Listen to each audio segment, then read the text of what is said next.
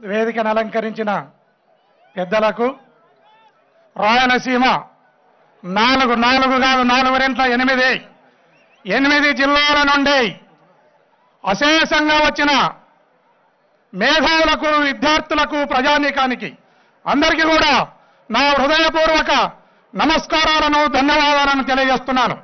రెండు మాటల్లో ముగించేస్తా. రాయలసీమ అభివృద్ధి లేదా విజయవాడలో రాజధానిని పెట్టాలంట చంద్రబాబు నాయుడు చెప్పేది. అక్కడ రాజధానిని పెట్టి ఆ నిధులతో రాయలసీమను అభివృద్ధి చేస్తా అంటున్నాడు. నాకు జ్వరం వస్తే గోరడ్ల మామం అనే నాకు జ్వరం వస్తే బుగ్గల రాజేంద్రనాథ్ రెడ్డికి ఇంజక్షన్ వేస్తా మందులు ఇస్తా బుగ్గల రాజేంద్రనాథ్ రెడ్డికి గుడ్లు పెడతా మాంసం పెడతా అంటున్నాడు. అయ్యా వచ్చినది జ్వరం నాకు. నువ్వు బుగ్గల రాజేంద్రనాథ్ రెడ్డికి ఇంజక్షన్ వేస్తే ఎట్లా?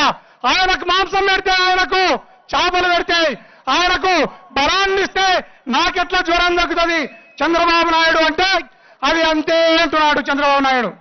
దయచేసి రాయలసీమ అంటే ఇది జైసల్మీర్ తర్వాత.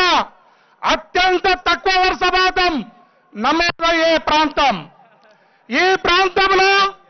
ఉత్తర కార్తి వరకు చూసి రైతులు ఉత్తర చూసి ఎత్తర గంపాని వర్షాలు లేక వర్షాలు లేక ప్రాణప్రదమైన పశువులను కలేబరాలకు అమ్మి పట్టడన్నం పెట్టే రైతు అన్నమే రామచంద్ర అని వలసలకు పోతున్నాడు. ఆత్మహత్యలు చేసుకున్నారు నీ హయాంలో అదేవిధంగా నువ్వు శ్రీశైలం డ్యామును ఎనిమిది వందల యాభై నాలుగు అడుగులు ఉండాల్సిన ఆ నీటి మట్టాన్ని ఎనిమిది వందల ముప్పై నాలుగు అంటే ఇరవై నాలుగు అడుగులు తగ్గించి రాయలసీమకు రావాల్సిన బ్యాక్ వాటర్ను రాకుండా ఈ కరువుకు ప్రధాన కారణమైన చంద్రబాబు నాయుడు.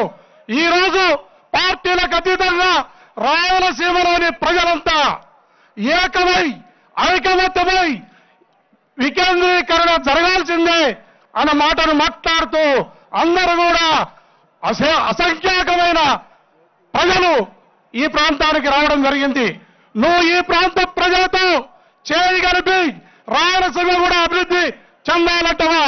లేక ఇరవై మూడు గ్రామాలకు చెందిన నీ కమ్మల్ని అభివృద్ధి చెందాలంటవో? తెలుసుకో చంద్రబాబు నాయుడు అని చెప్తూ ముగిస్తున్నాను